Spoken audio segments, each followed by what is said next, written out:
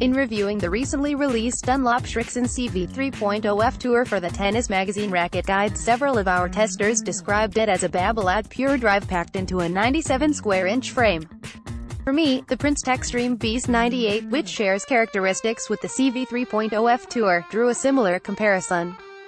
With its slightly smaller head, beefier weight and tighter string pattern, the Beast 98 offers a more controlled playing experience than the typical Power Broker, while owning a surprisingly pleasing feel.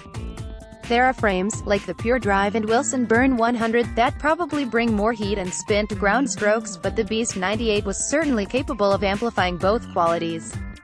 The balance and swing weight meshed well to create a desirable blend of feeling both maneuverable and substantive. When executing, there was no trouble generating good pace and depth from moderate swing speed and length.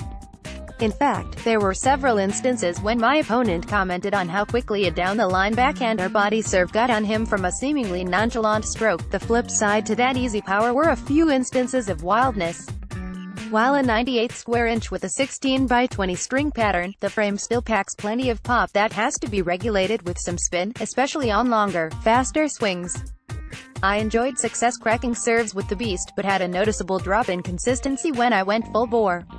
However, we got along just fine as long as I let the frame help me out, or used lots of spin on a heavy kick which is generally what I expect from this type of racket.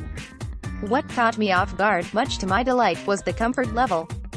The feedback on the Beast 98 was firm, slightly dampened and more arm-friendly than many other offerings in this category.